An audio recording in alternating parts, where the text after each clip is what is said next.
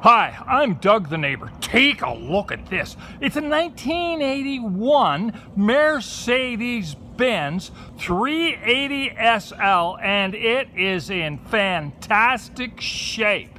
It's that black shiny color. The owner says it's got about 130,000 miles on it and he's got the hard top and the soft top.